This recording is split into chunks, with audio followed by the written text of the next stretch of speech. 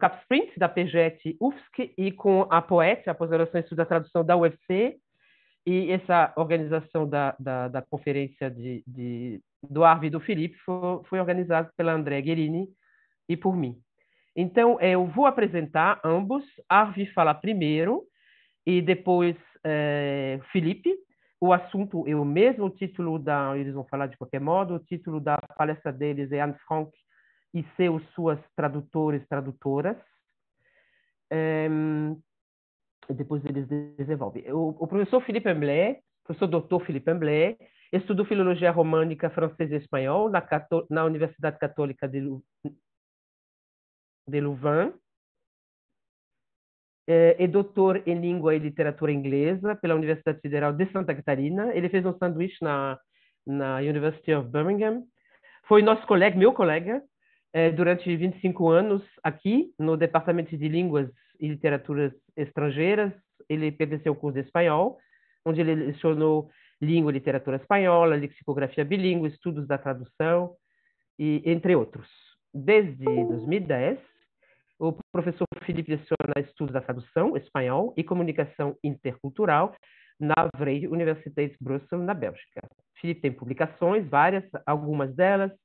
Ele publicou sobre lexicografia, Dictionary and Language Learners, em 2001, é, estudos da tradução, literatura migrante, Barry Cross, Translating Literary Narratives of uh, Migration, 2016, estudos de corpora, comunicação intercultural em tradução, publicou em 2019 Transcultural Awareness in Translation Pedagogy, entre outras coisas. Atualmente ele está pesquisando o impacto da tradução sobre questões geopolíticas, como exílio de escritores, eh, Sandro Lenart, Robert Schockflocker, eh, Kader Abdollah, e os fluxos da tradução. Além do Brasil, da Bélgica, professor Felipe ensinou na China, em Cuba e na República Tcheca. O professor Dr. Avisek, também presente na mesa, é, estudou filologia alemã e inglesa, sociologia e teoria literária em Leuven, Louvain-la-Neuve, Ber Ber Berlim e Gießen. É professor de estudo de tradução e alemão na Vrije Universiteit de Brussel, é pesquisador do Instituto de Estudos Judaicos da Universidade de Antuérpia, na Bélgica. Ele recebeu alguns prêmios, é, o Fritz Albert Fellowship Award do Instituto Leo Beck, o Tauber Institute Research Award da Universidade de Brandeis, Memorial Foundation for Jewish Culture Award, o Prix da Fundação Auschwitz, Prize for Research Communication é, da Royal Flemish Society of Belgium for Arts and Sciences e o Theodor Frinks Prize da Sächsische Akademie der Wissenschaften. Seus interesses de pesquisa estão centrados na literatura comparada, literatura alemã judaica do século XX, tradução literária, migração e exílio, literatura multilingüe. Ele publicou também várias coisas é, sobre estudo da tradução, estudos de autobiografia, literatura judaico-alemã e teoria literária. Publicou uh, em 2016 o livro Topography des Alltags, é, organizou várias revistas, entre as quais Bearing Across, Translating Literary Narratives of Migration, 2016, e organizou várias edições temáticas da Oxford German Studies sobre literaturas contemporâneas periféricas em língua alemã em 2019. É, passo a palavra a você, Felipe. I give you the floor. É, Felipe, é, faremos as perguntas no final, e aí qualquer pergunta que o Arve precisar é, traduzir, eu vou te pedir, claro que eu posso fazer, mas a gente vai se organizar um pouco talvez. Você pode traduzir, eu estarei aqui para ajudar, é, e pode ser em qualquer língua que vocês entendam, neerlandês, alemão, inglês, francês, espanhol, e que mais? Português, italiano. Então, Arvi, tu as la parole. Je vous passe donc euh, la parole à tous les deux. Je vais éteindre mon micro. Éteindre mon micro. Voilà. À vous.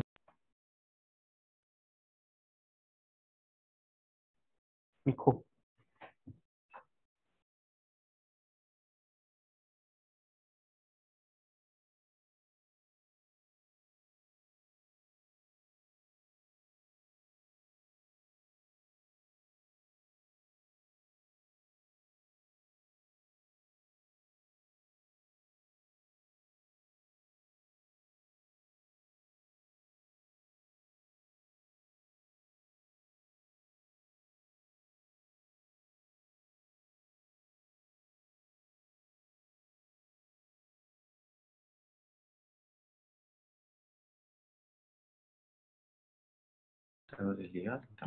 Okay, so I think norm normally everyone should be able to uh, to hear me.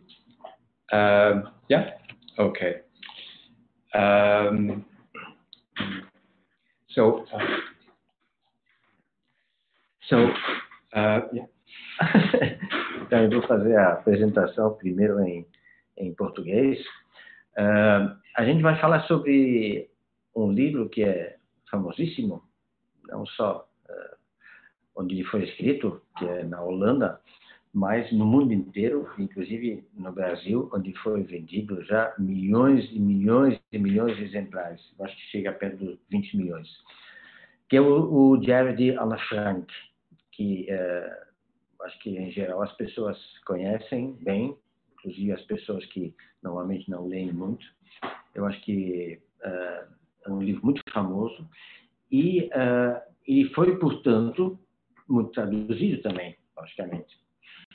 Ele foi traduzido em, uh, claro que essas, esses números são, a gente sempre pode se perguntar quem é que realmente contou esses números, mas uh, se diz assim até em 70 línguas que foi traduzido. Isso não importa tanto, só quer dizer que isso foi traduzido uh, para várias línguas e, e, inclusive as línguas que a gente vai conversar agora, que o, o, o Arvi vai dar uma, um panorama geral do livro, a maneira como ele foi tratado também ao longo dos, dos, uh, do, do, do, tempo, desde quando ele foi publicado uh, pela primeira vez, logo depois da primeira guerra, da Segunda Guerra Mundial. Um, ehm, que muitas vezes assim uh, foi de uma maneira completamente diferente do que a gente pensaria de um, um diário que uma coisa um acontecimento de fato traumático que foi o Holocausto né? justamente por isso ele foi muitas vezes traduzido ele foi muitas vezes traduzido também porque ele veio de uma língua realmente minoritária que é a língua holandesa o que foi o que aconteceu nessas primeiras traduções, isso é uma coisa que o Arvin vai falar primeiro, e depois, como a gente está no Brasil, eu vou uh, especificar um pouco mais, falar um pouco mais em, em detalhes sobre as traduções em português. Eu passo a palavra para o. Okay, yeah, so I will be uh, uh, very glad to be here. So I will be talking uh, to, in English. Uh, but afterwards you can also, I mean, write your questions in Portuguese, uh, and I can can understand, but I will be talking in, in English. So I'm very glad uh, to be here, um, and we will be showing uh, our screen now. so as Philip just introduced, um, I think most of you will uh, know the diary of, uh, of Anne Frank. Uh, of course, it was written in Dutch, but well, it could also be considered German Jewish literature because Anne Frank was German Jewish, but she uh, she lived in Amsterdam and she wrote the diary in uh, in, in, Dutch. So uh, I will first give give you some idea of, of, the importance of the diary um, say something about uh, the uh, about the English translation, about the German translation, a bit about the French translation, uh, and then Philip at, will, will give you some information on um, on the reception of the diaries in, in, in Portuguese translation. Okay. so uh, as I said, so uh, let's start with the with the beginning. Uh, so um, the first, so I will be talking about the translations, and the first the first three translations were the uh, were the, the French, uh, the German, and the uh, English translation. And it was first published uh, in, uh, in the Netherlands uh, in 1947, so two years after the, after the Second World War. And then the first translation, as I said, was in uh, was the French translation, in fact, in 1950, uh, and also in 1950 the German uh, translation. And then two years later, the English or American translation. so um, I would just because we could be uh, we could be saying a lot about uh, about the diary. Just to give you an idea of of the importance of uh, of the diary, and you will see that the United States uh, will play an enormous role uh, in uh, in the success of of the diary, in in the global global success of the diary, and so it means that the American translation in 1952 uh, was the basis of uh, a, um, how would I say, of, of, of a global reception. And of course, after the Second World War, there was, of course, the victory of the Allied forces, but of course, in the West, uh, the United States also culturally became even more dominant after the Second uh, World War. And we can see how this Americanization of popular culture of Western culture became more and more uh, important then. And, and Anne Frank's diary is a kind of, of case of this, uh, well, of this first wave of, uh, of Americanization of, of, of, European culture, Western culture after the First World War. So uh, just to uh, uh, to give you an idea, also as as as a way of of introducing the the, the topic. Uh, as I said, the first American translation was in 1952 with, uh, with an, uh, a preface by Eleanor Roosevelt. and afterwards, the wife of the president. Yeah, the wife of, yeah. wife of the president. Yeah. And shortly afterwards, the, uh, through the translation, it became such a huge success that they had a play on Broadway, uh, a play on Broadway called The Diary of a Young Girl, Diary of Anne Frank. And uh, this is uh, Times Square. Of course, you all know uh, Times Square. And maybe the, the picture will, is, is, too small, but uh, in, in, in, in the corner um, on, on, the right, uh, to the, uh, the, top right, uh, there's a billboard poster. Probably you can't see this, but this is a billboard poster on Times Square uh, with, uh, with uh, well, or on the on the theater piece of of Anne Frank. So it is quite stri uh, striking because uh, there's uh, there's this billboard uh, on, on, on, the Broadway uh, uh, spectacle on Anne Frank's diary, next to just regular, yeah, regular, well, popular plays, popular plays, and and I think there's even hot talk, hot talk. Yeah. Uh, yeah, yeah, yeah, yeah. things there. So just to say that it, it has very quickly become part of popular culture because this is popular culture. When you make it to Times Square in 1956, I mean, this is no longer traumatic Holocaust literature. I mean, because it could be seen as a part, as, as also uh, depends on, on how you define, but part of, of Holocaust literature. Well, this is not the case. Yeah. So, and, and here, as I said, in 1952, with the introduction of uh, Eleanor Roosevelt, uh, uh, so we can we can read, and prefaces are always interesting, yeah, because they kind of frame um, uh, frame the narrative. She uh, she writes.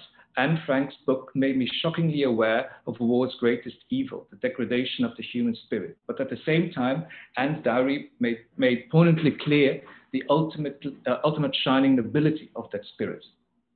So what, what you already can see here is, well, seven years after the, after the Second World War, that, I mean, people did not yet talk about the Holocaust. They did not talk about, uh, uh, about uh, Jewish suffering. It, it, it, came much later, much later. Um, but in 1952, this was not yet the case. And let's not forget, I mean, Anne Frank uh, young girl was murdered in a concentration camp. Yeah? Uh, mm-hmm. but uh, and I mean, the diary is a testimony to uh, to German op- occupation in the Netherlands, of course, but it kind of ends at a moment where she is deported to the camps to be murdered. Yeah? Uh, and in the introduction, we can already see this kind of uh, universal value. Anne Frank is not just a victim of, of, of Nazi anti-Semitism and Nazi, uh, Nazi genocide, but she, becomes she becomes a symbol of, uh, of everything that is good, yeah, a kind of angelic essence. Mm-hmm. Yeah.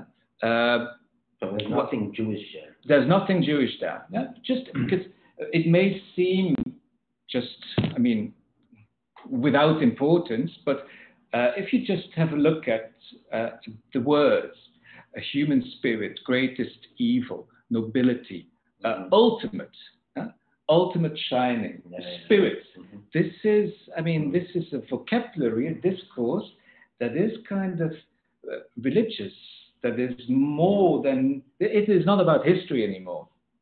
And, and this is very important. So, so the, the, the, the, main thing we want to say here now that is that the, the, the, the, uh, the, the uh, early reception was very much influenced by uh, American culture and the way it was framed within American popular culture. And this young girl was uh, was portrayed as a kind of well uh, as a kind of pure essence of uh, pure essence of of, of uh, not of suffering, not of yeah, of yeah, of human being. Of human uh, being. Yeah. yeah. And also they don't mention the the Germans, but it's the war's greatest yeah. evil. Yeah. Yeah. Because it was yeah. Cold War. Or, yeah. Yeah. So. Uh, indeed, the war is not mentioned, the Germans or the Nazis are not mentioned, the concentration uh-huh. camps are not mentioned, M- murder is not mentioned because she was murdered. Yeah, she did not just disappear; she was deported.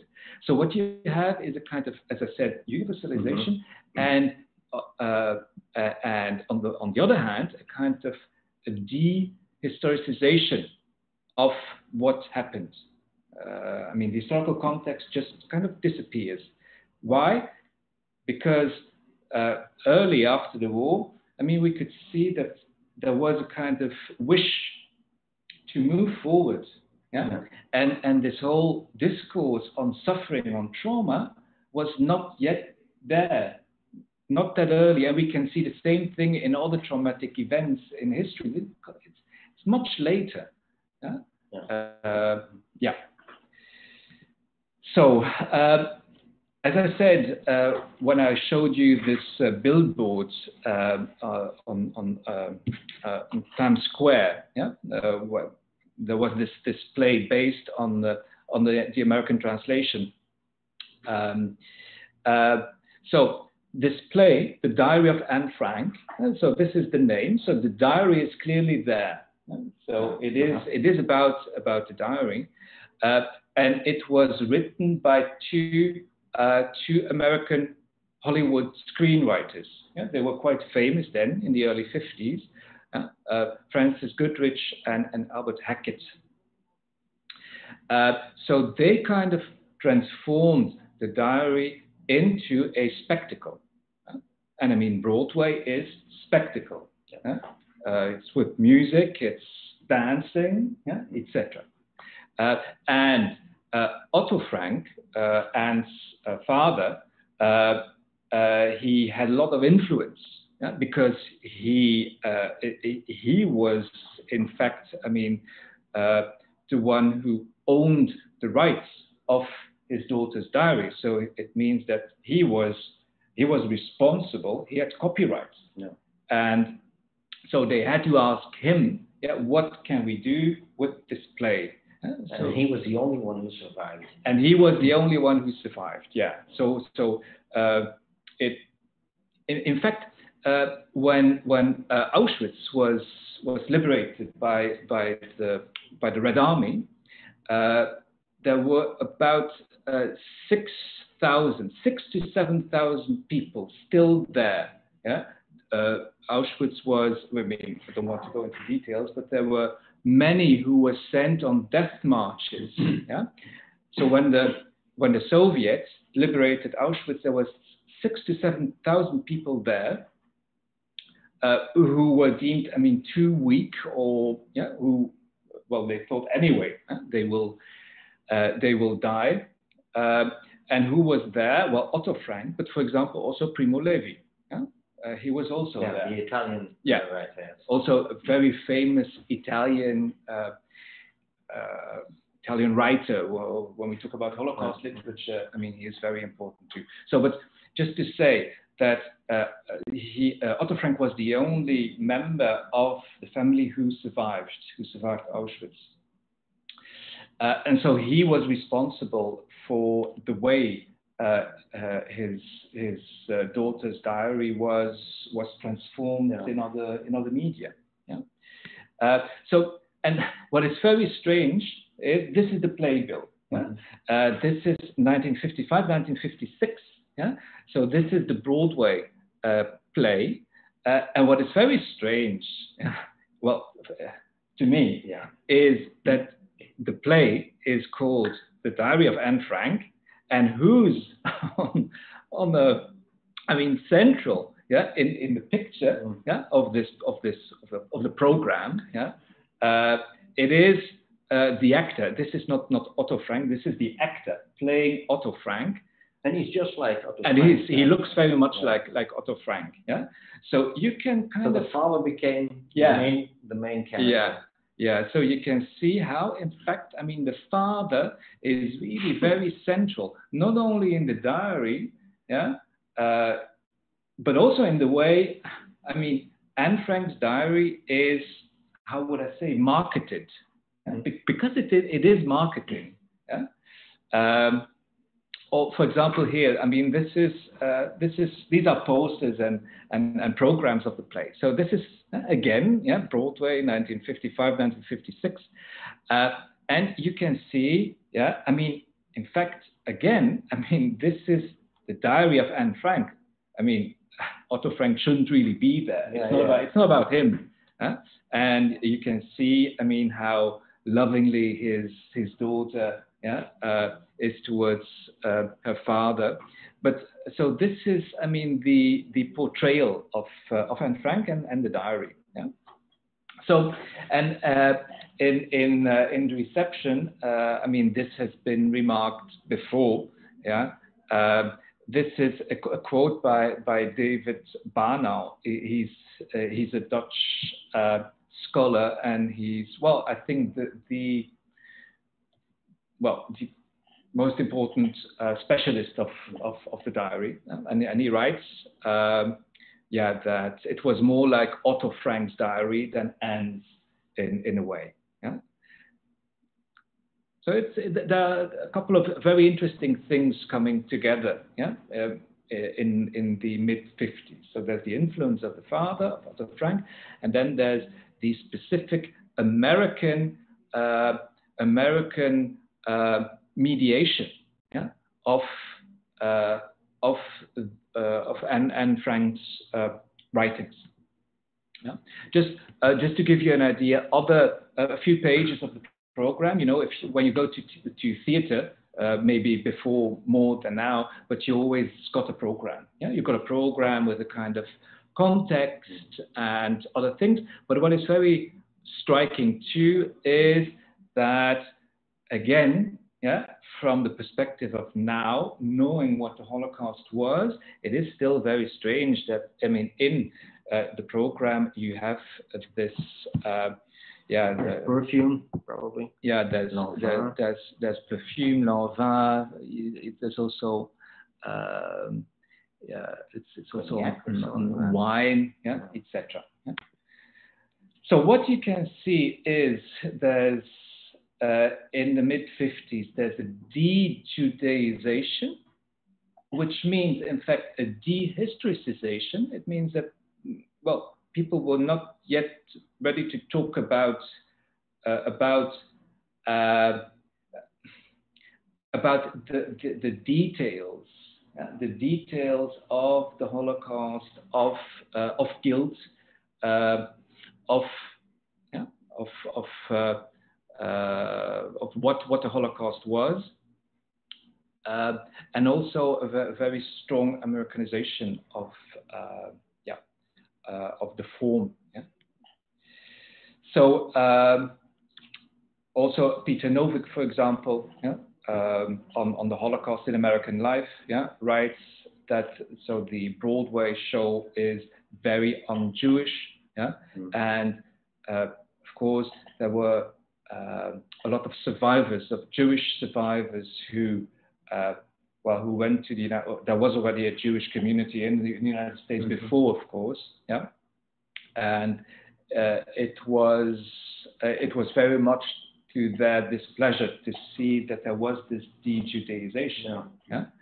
Uh, because because they, they were not very religious way that they had no. Hanukkah and yeah yeah they were culturally Jewish yeah yeah, yeah yeah, they were culturally Jewish and of course uh, I mean people in the Holocaust were murdered because they were, because they were Jewish, Jewish yeah? so I mean but not once the word Jewish is mentioned or not once the in the play or, or in, in a context. I mean, yeah, yeah, yeah. in the program, not once.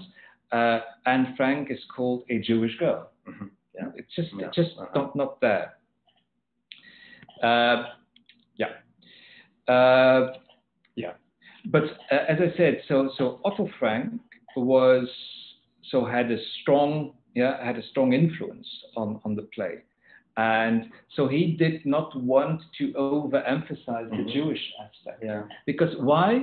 Because if that's what, what, what, what he thought, if the Jewish aspect would be overemphasized, uh, people uh, would not grasp. It, would be seen as particular, as a, as a particular, as a particular mm-hmm. play, as a particular book for the Jewish community.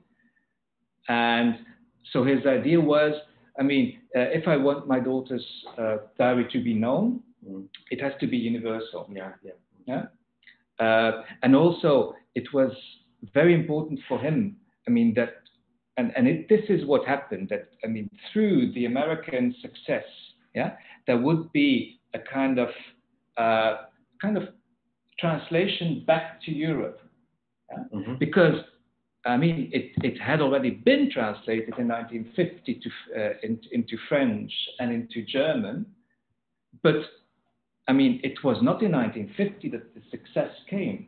And in the Netherlands, the book, I mean, the, the publication was in 1947, but no one, no one read the diary. And then all of a sudden, 1952, the American translation, 1955, uh, 1956, the Broadway play, mm-hmm. which became a huge success. And it is only through this American success that there is a kind of, uh, of, of weight of American culture that says this is important. Yeah.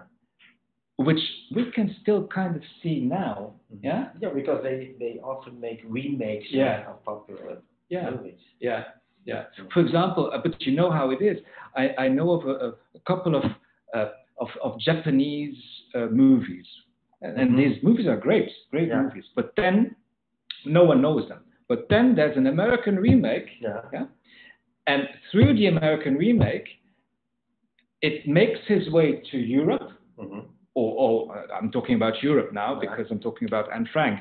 But I mean, uh, it's global. It's not only yeah. Europe. It's, it's it's it's everywhere. But it's through the the power, and this is soft power. Yeah, what, what yeah. we I mean. we, we often use the term, yeah. Uh, soft power means, I mean, the, inf- the cultural influence of a culture yeah, uh, that has become global, and it is through this uh, this American success that people all over the world, world say, well, if this is an American success, it must be important. Yeah. And, and this, is, this is very interesting. Yeah. Uh, so uh, also uh, Alvin uh, Rosenfeld is, is uh, a, very well-known uh, Holocaust scholar, and he writes with regard to, to this Broadway play. Yeah. Um, he writes, it is notable, for instance, that at no time during Goodrich and Hackett's prize-winning play does a Nazi soldier or Gestapo agent ever appear on the stage. Yeah. Uh, and then at the end, yeah, uh, he writes, as in this instance, Americans are typically given stories and images of the Nazi Holocaust that turn upwards at the end rather than plunge downwards into the terrifying silences of a gruesome death. Yeah? Because the play ends happily. Yeah? And uh, I mean, everyone's happy, everyone's dancing and singing at the end of the play, which is frankly quite. We're going to say the same thing in the Portuguese translation. Yeah. Uh, so this is, I mean, it would not be possible anymore. Yeah because I mean, there's no dancing and there's no singing uh, by the ones murdered during the Holocaust, and this is what happens with Anne mm. Frank. Yeah? Uh, so it, it, it ends literally with dancing and singing. Uh, this play. Yeah? Uh, these are just other uh, other posters. Yeah. Um, yeah. Just just to give you an idea of how it was uh, how it was marketed. Yeah so these are yeah uh, these are uh, more quotes yeah just uh, which go into the same direction yeah? again by, by Rosenfeld in another book where he writes that there was a tendency to generalize Anne Frank's experience so that it becomes existential and not specifically historical. Yeah? So no Nazis, no Gestapo, no concentration camps, but something of pure human essence, yeah? something almost religious. Um, yeah. Um, yeah. Uh, this this also comes from uh, yeah from uh, the from the diary, yeah, 1956. Yeah, and this is from the play. Yeah, uh, and and this comes at the end of the play. Yeah? And so, as I said, yeah, yeah. It, it, it ends with dancing and singing, but there's also this almost religious. Conclusion. Mm-hmm. This so so this was on stage uh, where someone of the actors, I don't remember who, who it was, uh, but we can read we're not the only people that had to suffer. Right down through the ages, there have been people that had to suffer. Sometimes one race, sometimes another. Mm-hmm. So again, you see this de-Judaization. Yeah?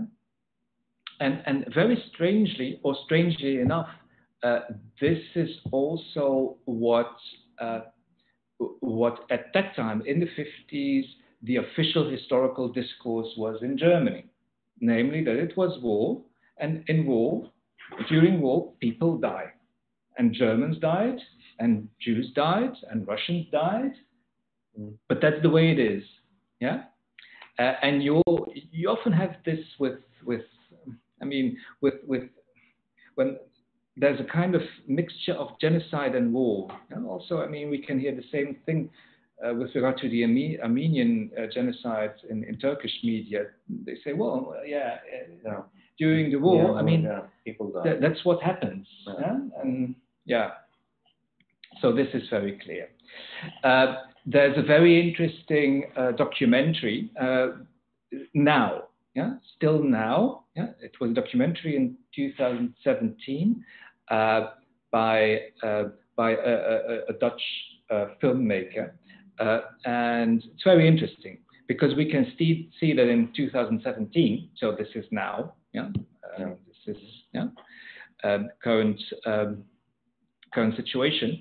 Uh, so people are queuing up in Amsterdam to visit uh, the uh, Anne Frank house, yeah, and they interview people yeah? And, and, and I mean, as you may know, I mean, Anne Frank, if you go to Amsterdam, uh, I mean, you have to book a visit to Anne Frank's, to the Anne Frank house weeks in advance.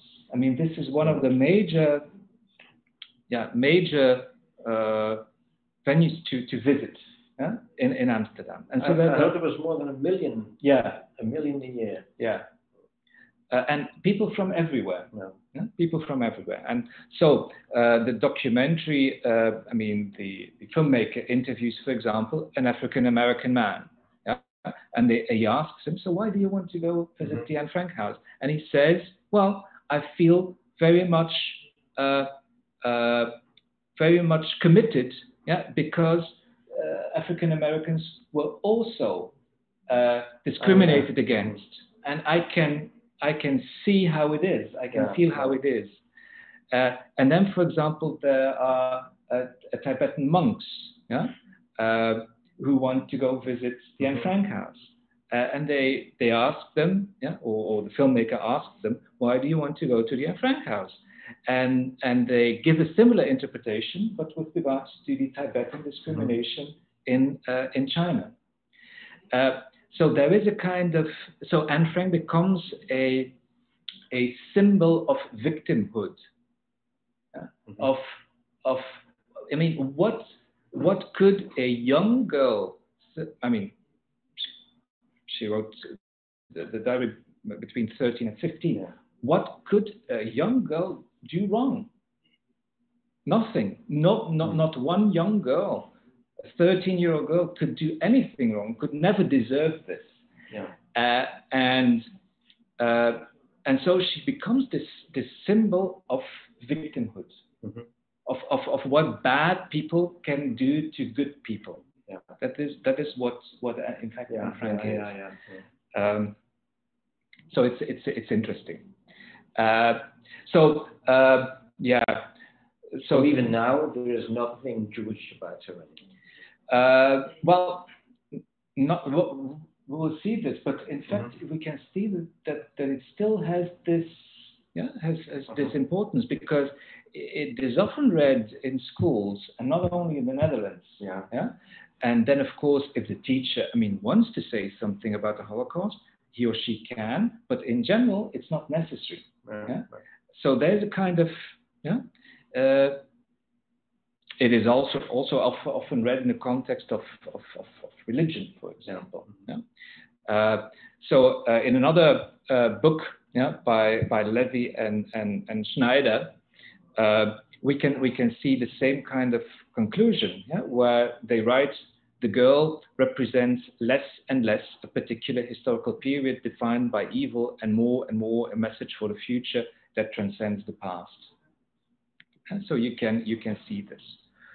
Okay, I will skip this slide. Yeah. Uh, so it attracts uh, an, it, transnationally and transculturally, yeah? and and this is this is peculiar mm-hmm. because the situation is so uh, specific. Yeah, uh, the the situation is so specific. I mean, it is a German Jewish girl uh, uh, who went into hiding in Amsterdam, in the Netherlands, and and and and during the German occupation in the Netherlands, this girl wrote a diary. Uh, they were they were caught. Yeah, so they were betrayed, the family, and they were deported. This is a very particular situation. Yeah. And still, I mean, Tibetan monks or African mm-hmm. Americans mm-hmm. uh, or anyone, whatever continent, mm-hmm. Create a kind of link. This is and this shows in the translation. And this is also shown in the translation. Yeah. And Philip will say something in the in the Portuguese mm-hmm. on the Portuguese translation. Yeah, because more, more I think thing, yeah. yeah. Uh, so uh, what I said in, so th this is in Dutch. Ja? Het meisje Anne Frank, uh, it, it, the girl Anne Frank, yeah, translated. Uh, as I said, it was first published in the Netherlands in 1947, yeah? but it was no success. It was no success. Yeah?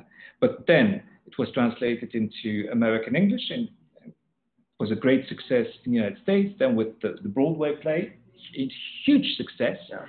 And then 1956, there is this kind of transmission or translation mm-hmm. of this success from the United States.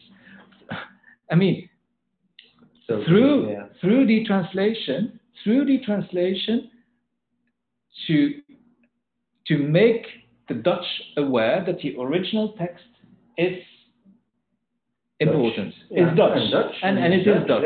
Yeah. So uh, the Americans say it's good, so yeah. and it's it's ours. Yeah. So, yeah. so what you have between 1947 and 1956, mm-hmm. yeah, in the Netherlands, yeah, there was very little interest, yeah, mm-hmm. in in this in this diary, Yeah, this is very interesting. Yeah, because it says something about cultural hegemony after the Second Yeah. World War.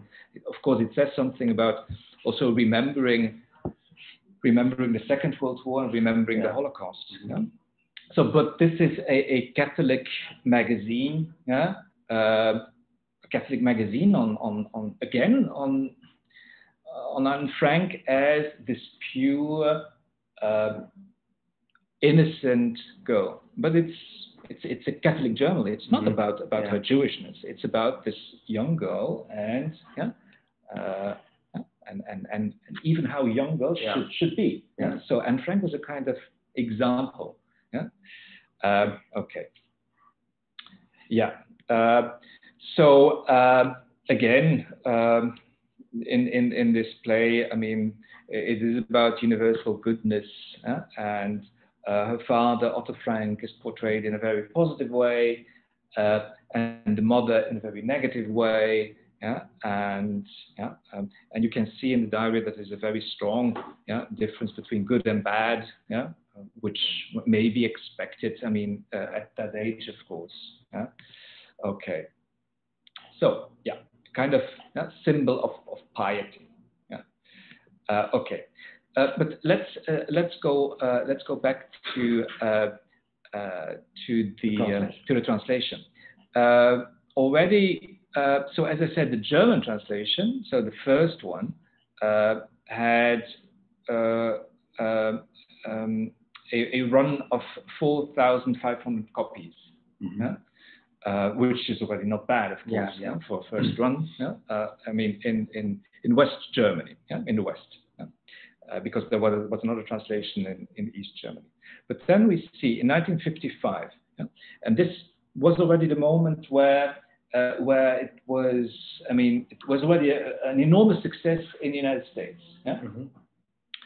we can see the same thing. Yeah, what happened in the Netherlands, but of course in the Netherlands it was not a translation; it was a success of the original text.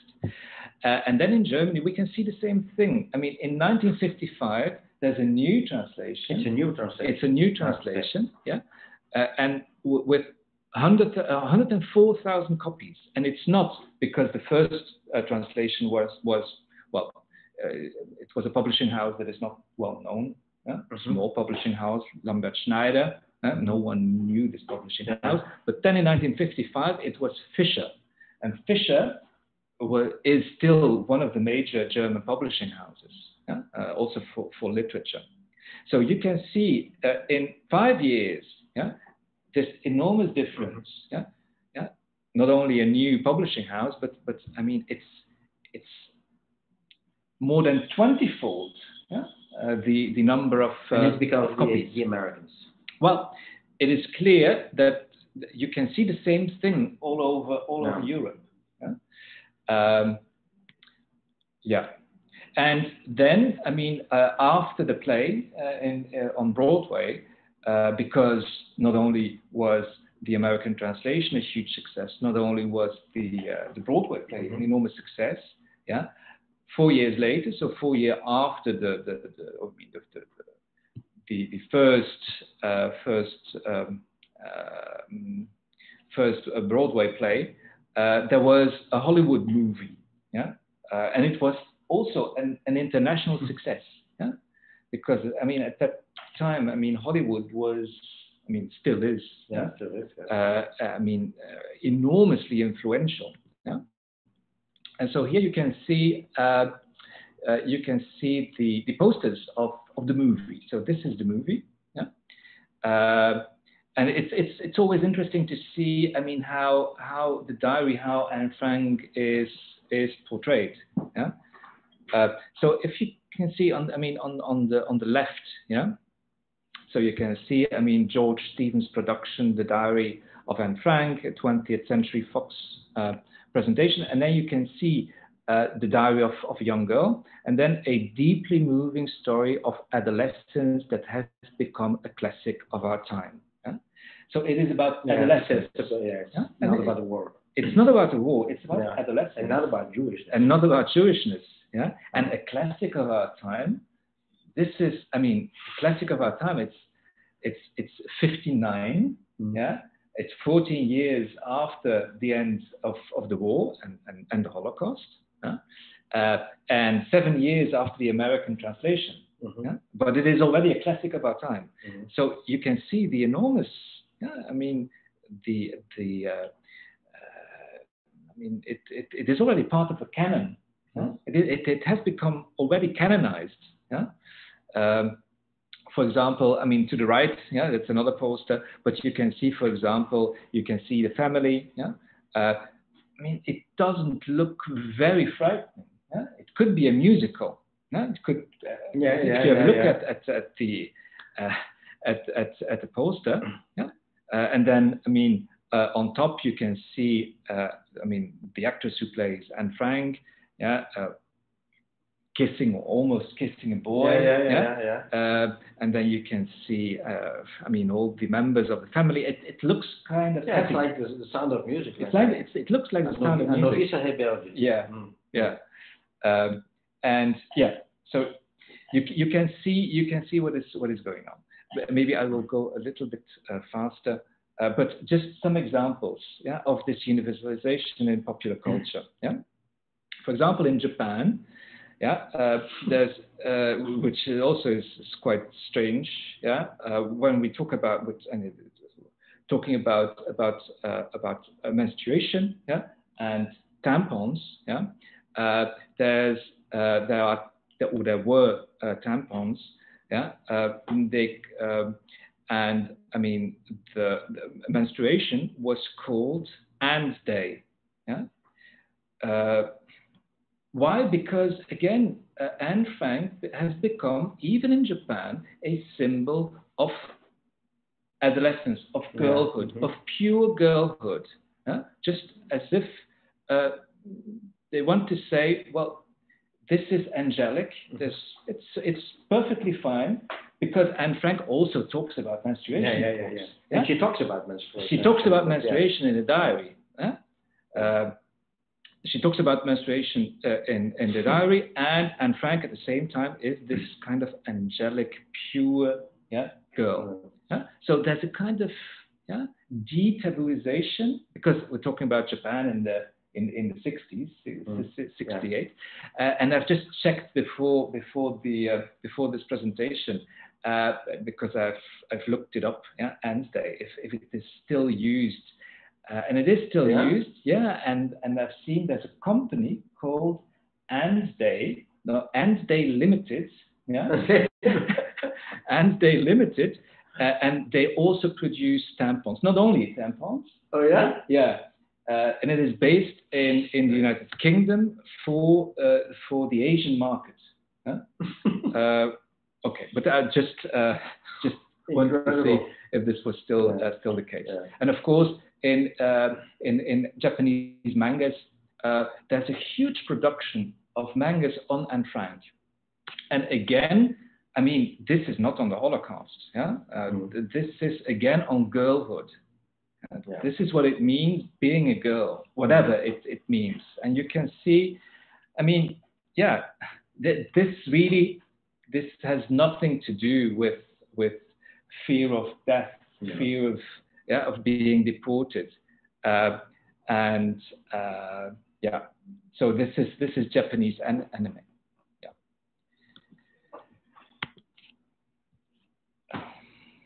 Um, yeah.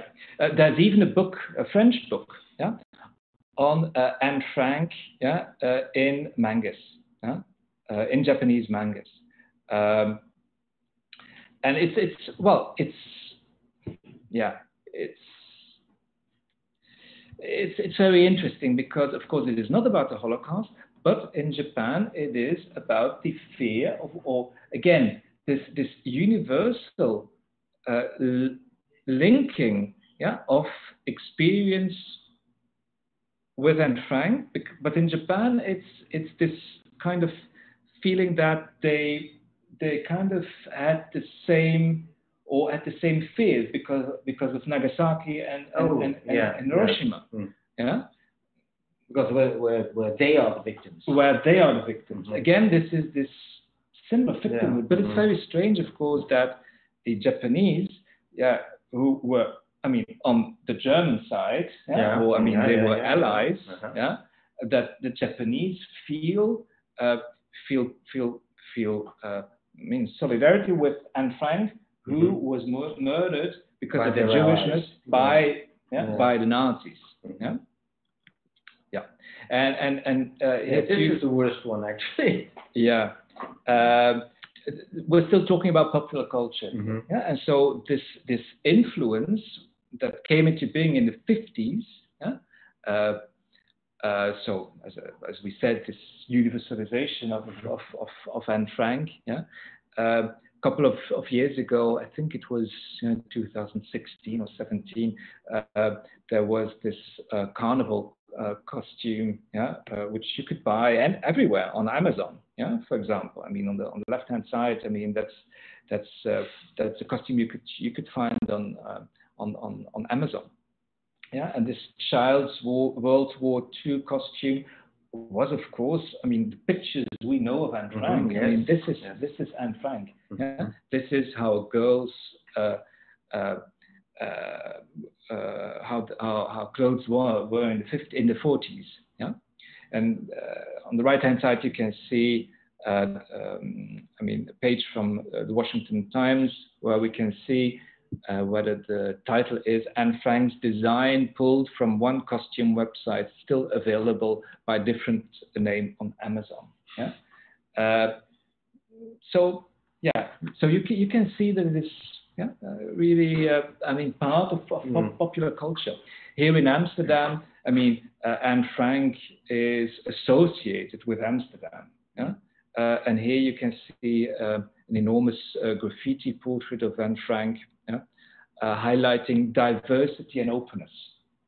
Yeah, you can see all the colors. Yeah, you can see.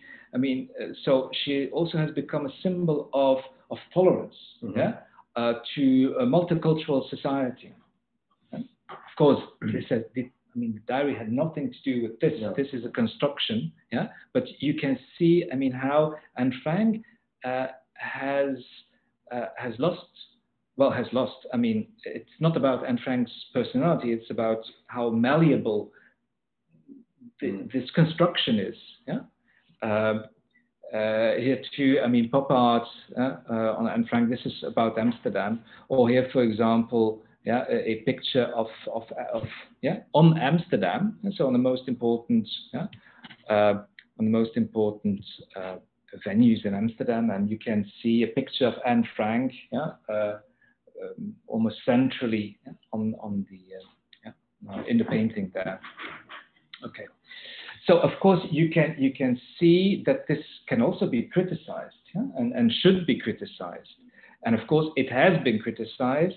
I mean, from a Jewish perspective, and already in '68, yeah, uh, in '68 uh, with the I mean Six Day War war in in Israel, uh, we we can see this this provocative publication yeah, on uh, on on on uh, the way Anne Frank is, is portrayed, yeah, uh, where we can read, uh, but it's provocative, of course, yeah.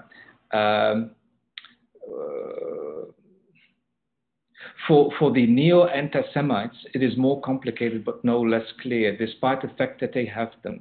As long as we are, are alive, yeah, so we, that, that's the Jews, as long as we are alive, we bother them. Once we are dead, they pity us. Anne Frank is dead. Long live Anne Frank, but only if she is dead. Yeah. So this is 68. Yeah. Uh, and they complain about, I mean, this solidarity of, of the left with uh, with Palestine. Again, this is something we still know now, yeah, at this very moment.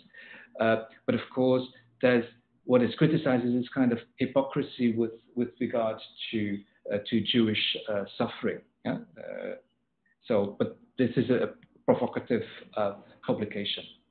Uh, maybe I will I will um, go a little bit faster. That's uh, this is on the on the GDR on Yeah. uh, yeah on on you uh, might talk about the the uh, German translation. yeah yeah. I'm going to skip some slides yeah, because uh, of course as you know after 49 uh, Germany was split yeah uh, into West and, and, East. And there was uh, a, a, translation in the West, yeah, in 1950 and then in 1955. Yeah. And there was a different translation in the East, yeah, uh, in East Germany. And it's interesting to see, of course, these prefaces are always very, yeah, very interesting. Yeah. Uh, uh, just, um, yeah. Well, and, and there uh, in the preface, so I will skip this. Yeah. Uh, yeah. So this is all about all about um, the uh, publication or the translation in, in East Germany. Uh, so and there we can see in the preface why Anne Frank is important. Uh, and there we can we can clearly see that Anne Frank or Anne Frank's diary is important because it shows how bad the Nazis were. Yeah? Mm-hmm. Uh, and then it's very interesting that in East Germany. In East Germany, yeah. yeah. In, did I say West Germany? Uh, I don't know. Yeah, in, in, East Germany. So it is clearly ideological. Yeah? So you should read the diary just to know how the Nazis were, and you should know that this girl was killed. So there is no dehistoricization in the East. Mm-hmm. Yeah? Why? Because and there is a dehistoricization in the West. In the East, I mean, the war is clearly there. Why? Because they say this is what happened. And in the West, they still continue like this. No. Yeah? They don't talk about the Holocaust, they don't talk about the war, but we are anti fascist. And you can see the same thing. Yeah? It's a very interesting documentary on Anne Frank in North Korea. Yeah? So in 2004, yeah, uh-huh. Anne Frank's diary was translated into Korean. Uh, I mean, there was already a translation in South Korea, but in 2004 there was a translation in, in North Korea. And why? To fight the imperialist fascism of George Bush's USA. Yeah? Why? So the idea is, the discourse is, yeah, yeah uh, Anne Frank was killed by Nazis. Nazis are fascists, and Americans are also fascists. Yeah? So, and therefore, yeah, we read the diary, and good people yeah, will be killed by fascists. Good people, innocent people, will be killed by Americans too. Mm-hmm. So there you can see, we North Koreans, we are Anne Frank. Yeah. Again, you can see, I mean, how. No mention of the Jews. Yeah, of course. No, no. Okay, just a couple, uh, a couple of, of, of uh, examples from, uh, from the diaries. Yeah, so uh, there's a, um, from the translations of, of the diary. Uh, so there is in Germany, there's in West Germany, there's a translation in 1950. Uh, yeah? And then after the fall of the Berlin Wall, there's a, a new translation in 1991 yeah? by Mirjam Pressler. Anneliese Schütz, the original translation in 1950, Mirjam Pressler, 1991. Um, so, and, uh, I will just uh, give you uh, give you some some examples in in the translation in the fifth in 1950. Yeah, if you count the number yeah of of, of, of occurrences of the, the of the lexical item Jewish, yeah, you can see how you can see how limited it is. It's a limited number. Yeah, it's much less than in the original. Yeah? Uh, for example, I mean, in Dutch, yeah. Uh, so I mean, um, on top of, of the, the, the um, on top of the slide, you have in Dutch Hitler's Jewish laws, yeah, and in the uh, in the translation of the 50s, yeah, S means uh, Schütz, so the the translator uh, who translated uh, the diary in 1950. So Jewish, yeah, is deleted. So Hitler's Jewish laws becomes in German Hitler's laws. So Jewish just disappears. So that there is a literal de-Judaization of Anne Frank in 1950. In 1991, uh, I mean, Holocaust remembrance and, and, and the, the idea of German guilt has completely changed yeah, over, mm-hmm. over 40 years. Mm-hmm. Yeah? And there you can see that the new translation, yeah, and there we can see that Jewish appears again. Yeah? And so there's no, yeah, uh, there's no, uh, no deleting anymore of, uh, of, of, of Jewishness. Yeah?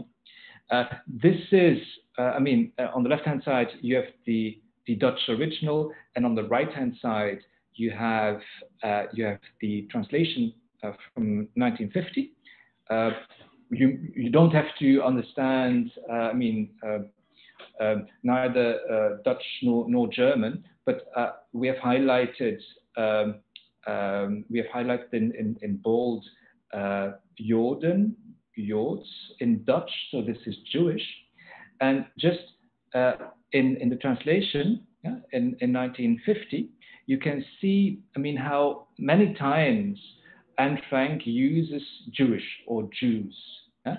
And in the German translation, yeah, uh, in the German translation in 1950, the same passage, you can see that in the same passage, I mean, almost all of the, uh, of the mentions of Jewish have disappeared.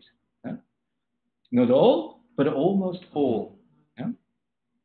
Just to give you uh, an idea, I mean, from a, from a quantitative point of, uh, point of view. And again, this says something about the idea of German guilt, yeah, and how important uh, uh um, a reflection on uh, responsibility and Jewishness is for the current uh, for the current collective identity of Germany. It is, it, it is central. Yeah? And in, in 1950, well, there was still the discourse, well, everyone suffered. Yeah? yeah? And, and, and there were millions of Germans killed, and millions of German, Germans had to flee. And so it was a completely different, yeah. different uh, period. Yeah? yeah. So you can, you can clearly see this. Yeah? Uh, yeah. For example, uh, Anneliese Schütz, so the, the translator from, from, uh, from 1950, yeah, uh, in 1980, in an interview in Der Spiegel, yeah, she, uh, she, she said yeah, that, uh, well, because they asked her, I mean, why did you adapt the, the journal? I mean, it's yeah. clear already in 1980, it was clear that, I mean, it, it had changed. And she wrote, that in 1950, a book containing insults against Germans could not have been sold in Konrad Adenauer's Germany. Yeah? So Konrad Adenauer was Western Germany. Yeah, in West Germany. Konrad Adenauer was the uh, was the chancellor, the first yeah, federal chancellor yeah, of, of West Germany, and he strives for kind of normalization again of Germany in the West. Yeah? And and there was not there was no place then yeah, uh, to say that the Germans were bad, as, as Anne Frank wrote in a diary. Yeah. Uh, yeah. Uh, for example, uh, another passage, and this will be the last one, and then Philip can can can oh, okay. can can say something about about the Portuguese uh, translations. So on the on the left hand side, so F is uh, is is Frank Anne Frank, yeah. and there's this passage where she writes, yeah, uh, that she's very much against the Germans. The Germans. She calls them the Germans. Yeah?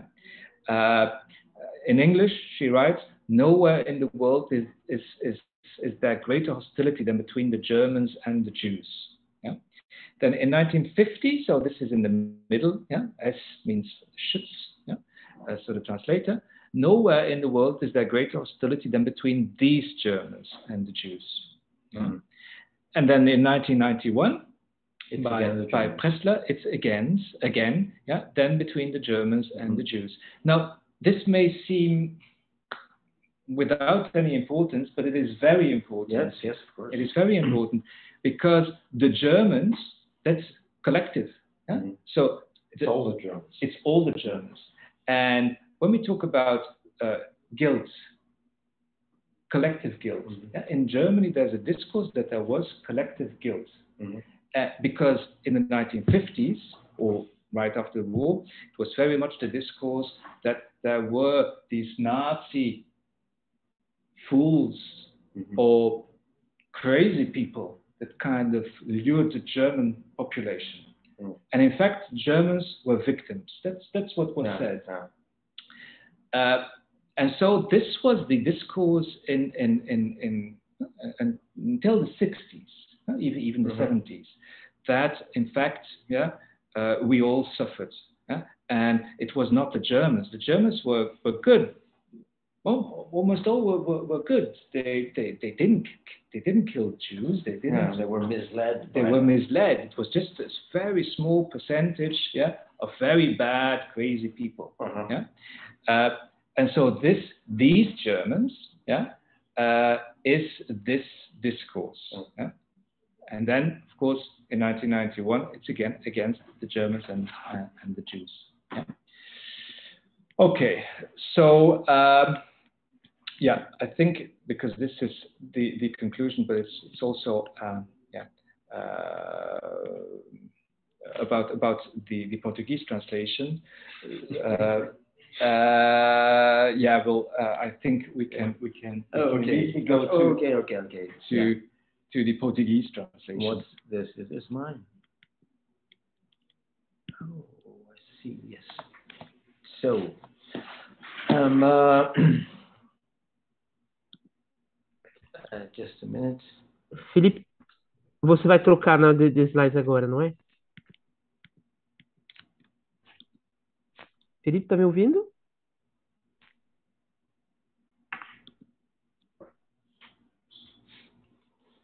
Então, eu vou falar agora das traduções em português.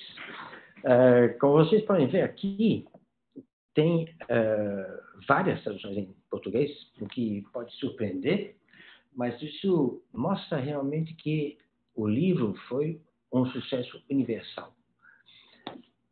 Tem aqui as edições portuguesas, que tem aqui de, eh, uma de Ilse Lossa, que eh, é uma figura muito interessante, porque ela mesma foi fugiu de fato de, da Alemanha como judia já nos anos eh, 30 e depois uma outra, desculpa, em 2006, muito tempo depois, de Elsa Vieira. Agora eu tenho que dizer que a edição da Ilse Lossa foi uma tradução que foi feita a partir da edição alemã, que onde tem todas essas eh, transformações e eh, que realmente eles que tiram esse aspecto eh, judeu, o aspecto alemão também, de fato, da, da obra original.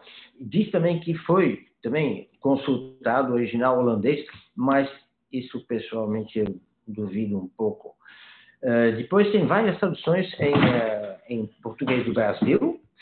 Eu achava que, bom, de certo, eh, eles copiaram uns, uns dos outros, mas não é sempre o caso, não. Então, eh, assim, foi, eh, foi, foi como é que vou dizer, foi menos ruim do que eu pensava, porque normalmente os tradutores também, eles, logicamente, eles se inspiram um no outro, né? Bom, então, a gente tem aqui, vamos ver aqui, o segundo. Tá. É, isso é da Rama. Bom, não. Desculpa.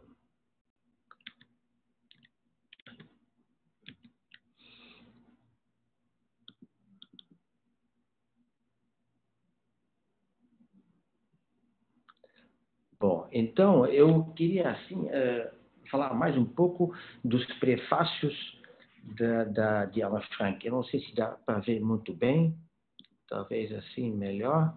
Ah, posso aumentar um pouco aqui também. É, ui, esse já foi demais.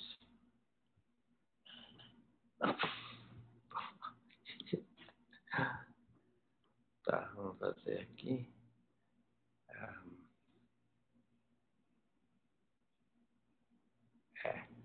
Então, eh, os prefácios em geral, eu posso dizer que tem um prefácio, que é o prefácio original da versão em holandês, que foi escrito pela Annie Romain.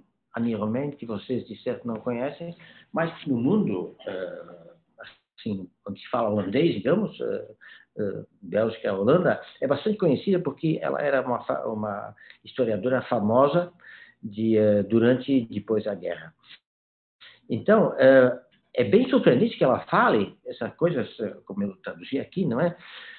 Quem espera experimentar o milagre desse diário, devo decepcionar com antecedência. Esse diário não é um prodígio infantil, que é um pouco estranho, porque levando em conta, se você lê esse diário que foi escrito por uma menina de 13 anos, realmente é um pouco um prodígio. Não? E ela, é, é, o tom dela, em geral, é como diminuir, assim, não é tão importante assim. E ela, então, ela faz o, o, o panorama desse, desse livro mas com uma coisa assim é, é interessante assim para ler, mas não é nada fundamental. Né? No caso da Eucelosa, não, depois eu vou entrar mais em detalhe. No caso da Eucelosa, ela uh, sim fala de uma Anne que é um prodígio.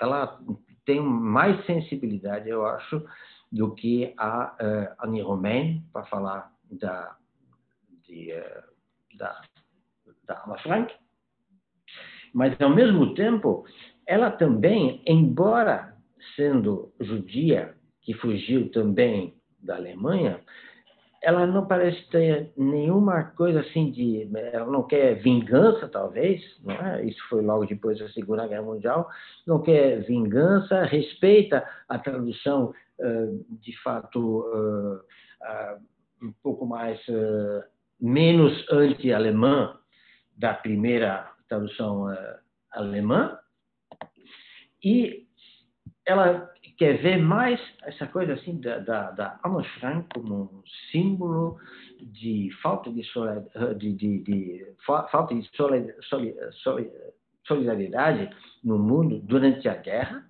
mas que não foi só assim do, do, dos alemães e dos judeus, assim isso não tem tanta coisa a ver, o que realmente é surpreendente quando se, se pensa que Alice Louça era uma, uma judia alemã. Né? Então se vê aqui que, de fato, o mundo todo respeita, entre aspas, esse impulso, essa, essa, esse enfoque americano da Anne Frank. Os americanos que, logicamente, logo depois da Segunda Guerra Mundial, colaboraram bastante com uh, não só cientistas uh, alemães, que muitos foram para, os Estados Unidos, mas também com as pessoas que se ocupavam com a inteligência alemã, a inteligência no sentido de, de espionagem, essas coisas assim. Né? Então, logo depois da Segunda Guerra Mundial, começa a Guerra Fria, então, de repente, os alemães não eram tão ruins assim, não é? E isso, com pessoas que tinham, como a Ilse Louça, que tinham, como é que vou dizer, que não, não queriam uh, atacar os americanos, mas nem os alemães, assim, foi um, foi um símbolo de paz, essas coisas assim, né? Mas se fala muito pouco no, no caso dramático, trágico, de fato, da Ana Frank. Né?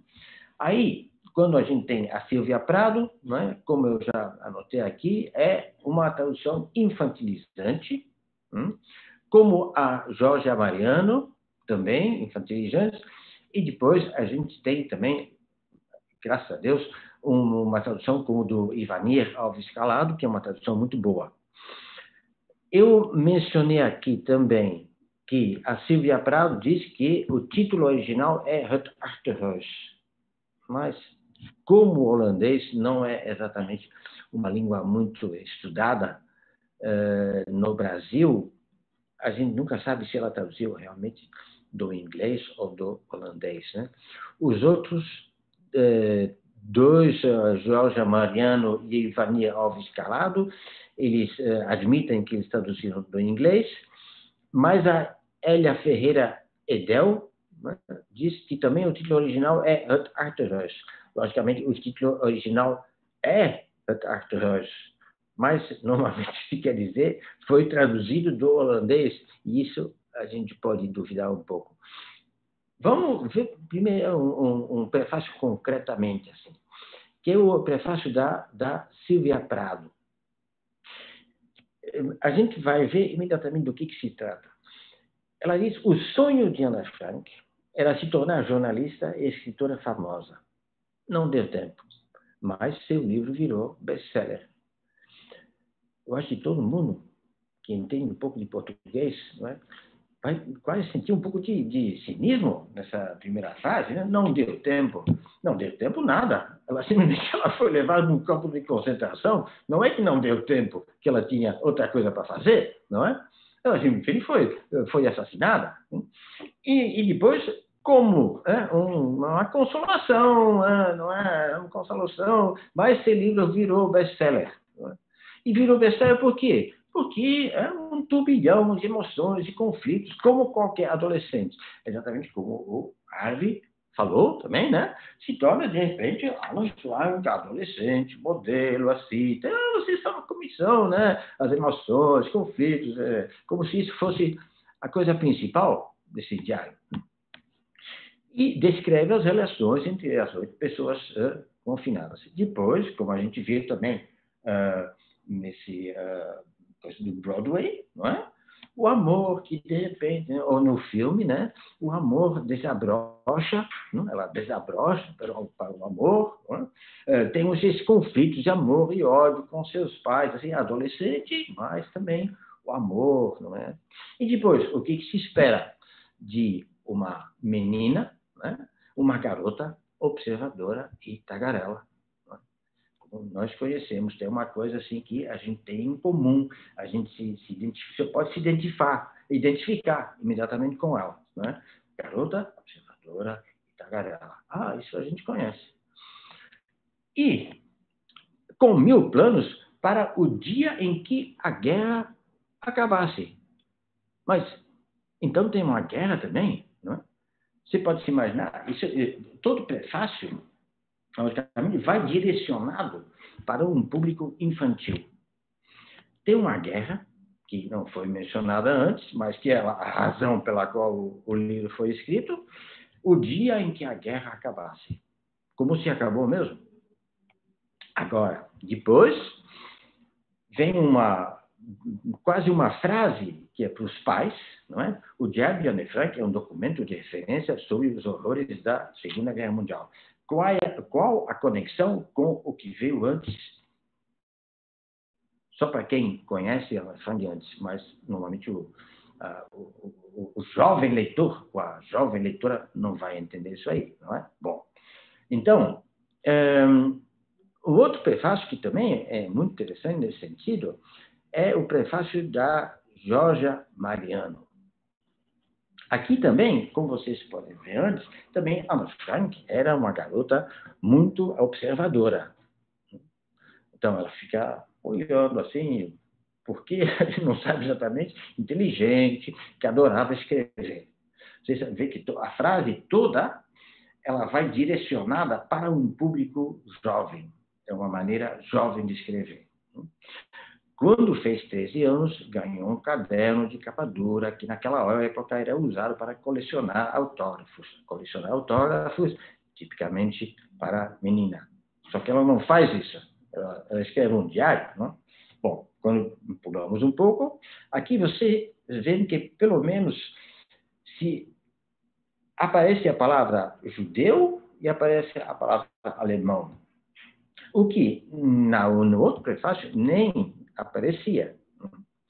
Então, ehm, eu, eu fiz uma lista aqui, né, do, do que, que, me chamou a atenção, que eh, a garota muito observadora, assim, assim que viu o presente, teve a ideia de usar, de fazer um diário. Né? É como, assim, descrever, é normal, né? como toda garota, assim, a gente tem tanta coisa em comum com a Ana. Né? Então, o que, que ela escreve? Tudo o que se passava na sua cabeça. Bom, isso, obviamente, assim, claro que você escreve o que passa na sua cabeça, não é? Claro, mas não tudo. É uma situação de guerra e são pessoas que durante dois anos ficaram num lugarzinho só, num, num alguns quadros só. Bom, depois, é, Confidência de uma adolescente, a perseguição de Hitler aos judeus se tornou insuportável. Isso é quase como, como de repente, assim, é, caiu uma chuva né, e depois é, se tornou insuportável. Né? Mas a perseguição insuportável realmente se matava a gente na, na, realidade, né? E não era a perseguição de Hitler, era a perseguição dos alemães. Os alemães também desapareceram. O documento, o documento sobreviveu à guerra, ao holocausto e ao tempo. Então, guerra, holocausto e tempo é mais ou menos a mesma coisa. É? Bom, primeiro, que guerra, que não se diz, holocausto. Bom, o que é holocausto? Sim, isso se dirige às crianças, como aos adolescentes, como dá para ver, e também ao tempo. Existiu ao tempo, sobreviveu ao tempo. O que é isso? A gente não sabe, mas isso é tudo uma, um tipo de banalização da, da tradução que vai seguir depois desse prefácio. E, logicamente, depois tem um dos livros mais vendidos de todos os tempos, bom, ok, e depois aparece o aspecto espetáculo, que a gente já viu de, uh, do, do, da peça de Broadway e o que a gente já viu do cinema, o filme. Né? Esse espetáculo, esse aspecto espetáculo também é uh, realçado, porque se diz foi traduzido para 60 idiomas, virou filme, peça de teatro, minissérie e uma coisa que as crianças vão adorar, desenho animado e história em quadrinhos. Então, o que a gente vê aqui é que uh, uh, uh, essa, essa, tradução, né? você traduzindo, você faz muito mais do que transformar um texto de uma, de uma língua numa outra língua. Isso a gente sabe. Né? Agora, nesse caso, é bastante importante porque a Ana, Ana Frank ela se tornou uma das pessoas que foram capazes ou que poderiam ser capazes de fazer viver na própria carne o que foi o Holocausto. Não foi assim nada de peça de teatro ou desenho animado, não é? Isso foi uma coisa que, que, que foi muito além e foi muito especificamente uma coisa entre alemães e judeus naquela, naquele momento. Tudo isso, então, desaparece, desaparece nesses, nesses prefácios. É tudo assim, colocar num determinado panorama. Graças a Deus, a gente tem uma, uma outra uh, tradução, que é essa aqui, da, do, do, do uh, Ivani Alves Calado, e aí você vê que o, o, o, o tom é completamente diferente. Isso é a, a, tradução que não é a última, né? Então, é um, vocês dão, dá para ver que tem um certo vai-vem entre negar que se tratava de judeus e alemães e voltar justamente a esse tema. Porque a melhor realmente é de Ivanir Alves Calado. Ele fala, quando se fala no texto em judeus, ele fala em judeus. Quando se fala em alemães, ele fala em alemães. Né? Ele não fica usando uma palavra como judaico, que de repente soa um pouco melhor do que judeu, não é? Não, ele fala em judeu mesmo.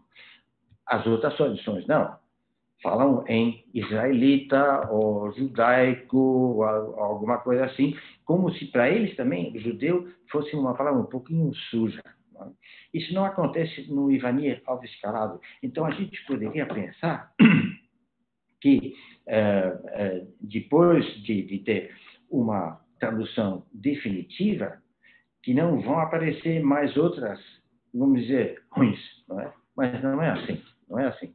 Então, dependendo do público-alvo, se traduz de uma maneira diferente. E o prefácio já indica isso também. Eu acho que Anne Frank, nesse sentido, uh, esse pode render muitos estudos ainda.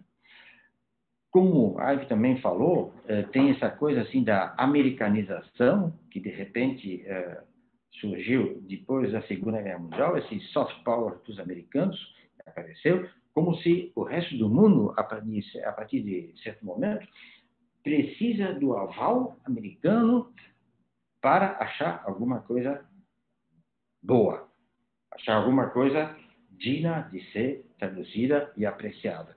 Isso eu acho que também é uma, uma lição que a gente pode tirar dessas traduções.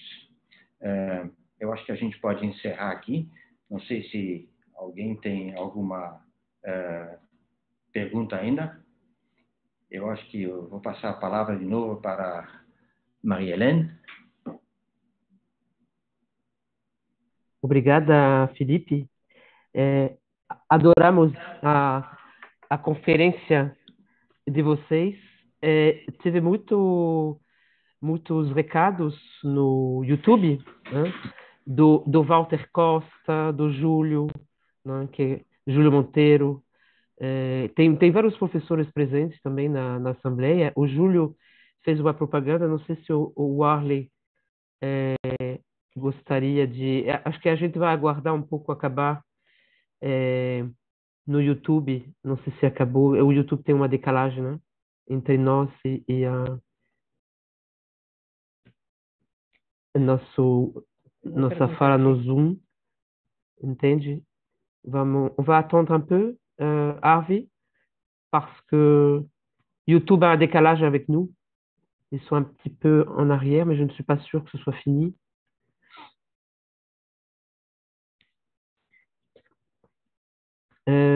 Je, je, vais te passer de toute façon, Harvey, la, la question. Et la question de, de, de Julio, euh, qui demande euh, si euh, tu trouves que les. Ah. Pardon. Si tu trouves que les différentes traductions, vous deux, hein, de toute façon, je crois que vous pouvez répondre à la question de Julio.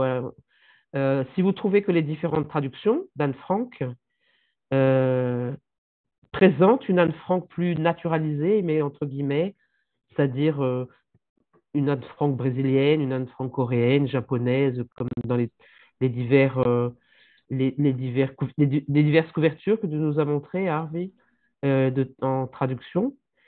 Donc, c'est dans ces traductions, donc, c'est les traducteurs ou les, plutôt les. Moi, j'ai remarqué que c'était plutôt des traductrices. Hein, je vais compléter un peu la, la question de Jules pour en faire une, une seule. C'est à, à part Ivanir, ce sont des traductrices, en tout cas les premières traductions là, des années 50, la française, l'allemande et la plus de la troisième. Euh, Est-ce que ce sont des traductions plus